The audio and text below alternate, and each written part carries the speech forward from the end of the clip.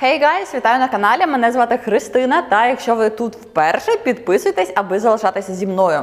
Тут на каналі ми говоримо про отримання візи Quiet, підготовку до переїзду в Канаду та про провінції Канади, в яких розглядаємо такі питання, як заробітні плати, податки, клімат, мову, населення, основні міста для переїзду, кримінальну ситуацію та багато чого іншого. А в цьому відео ми з вами і продовжимо серію про провінції. І в нас залишилися дві останні останні провінції, які є атлантичними.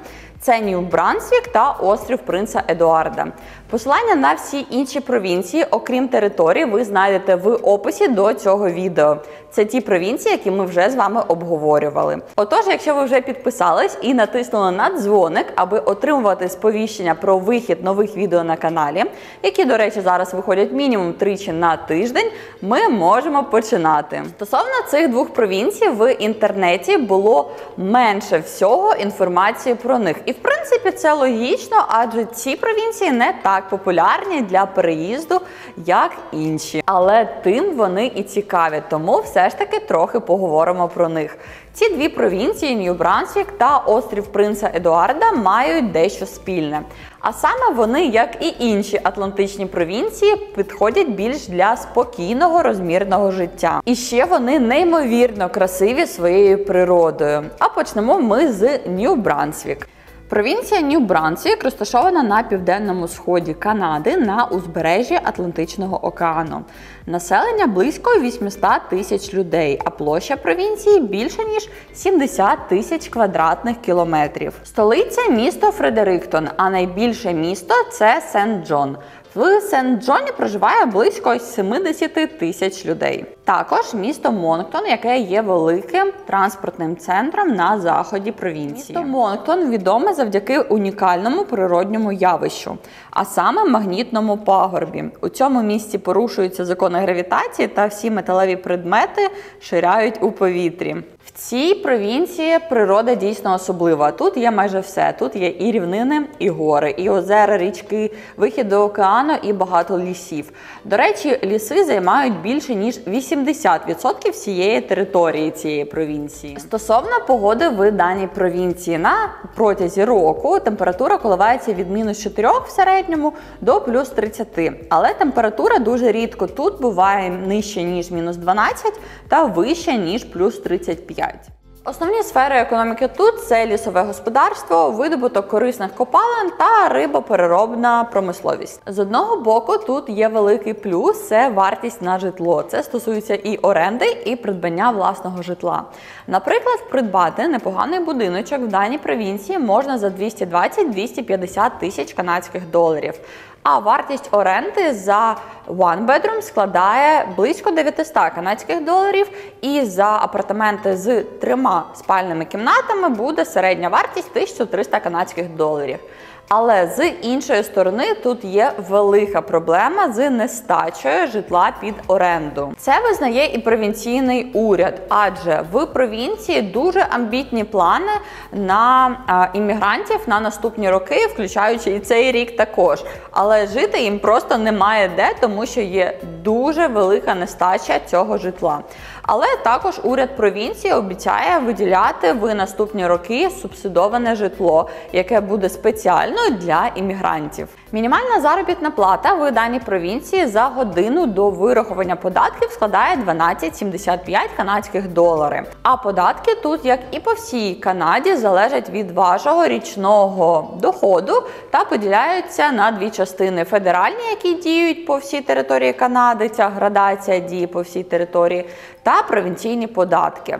В Канаді в цілому 10 провінцій, 3 території, і по всім діє одна шкала для федерального податку. А провінційний податок, відповідно, в кожної провінції свій. І зараз на екрані ми бачимо податки тут і провінційні, і федеральні. Мова провінції Нью-Брансвік.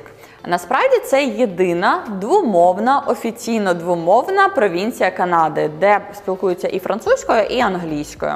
Тож, якщо ви володієте однією з цих мов, проблем вас не буде. Ви зможете знайти спілкування собі і на французькій, і на англійській мові.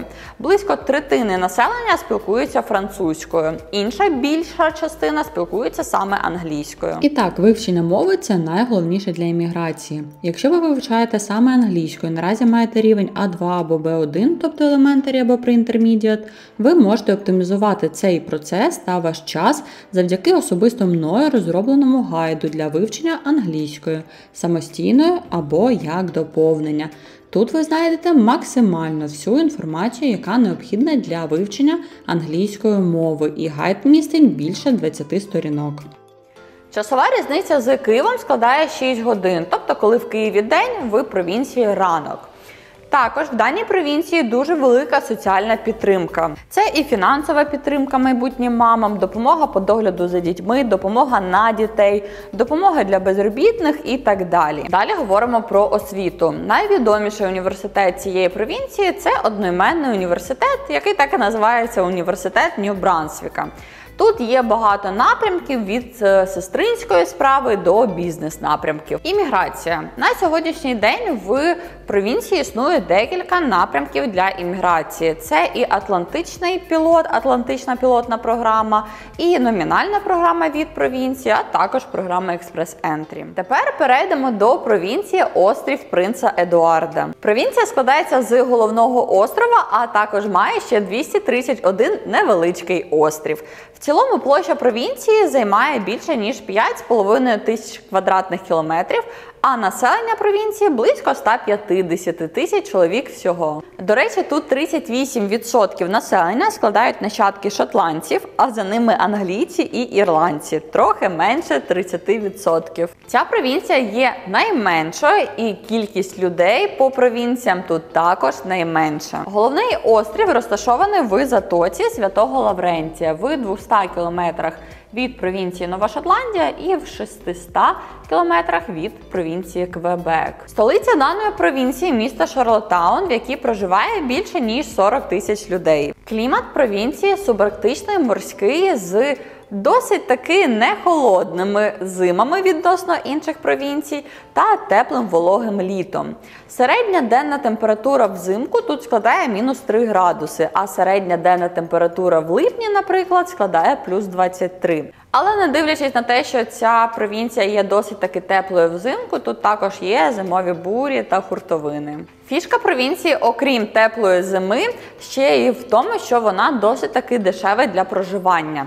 Наприклад, придбати власний будинок тут можна дешевше, навіть ніж у Нью-Брансвікі, всього за 200 тисяч канадських доларів. Оренда тут також більш дешевша, ніж в інших провінції, приблизно на тому ж рівні, що і у Нью-Брансвікі. 900 канадських доларів в середньому за one bedroom і за три спальнями середня вартість 1300 канадських доларів.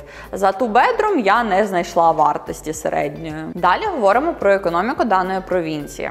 Економіка провінції острів Принца Едуарда майже повністю заснована на сільському господарстві. Та дана провінція забезпечує більшу частину врожаю картоплі в цілому в Канаді. Також, як і в інших атлантичних провінціях, досить таки розвинене рибальство.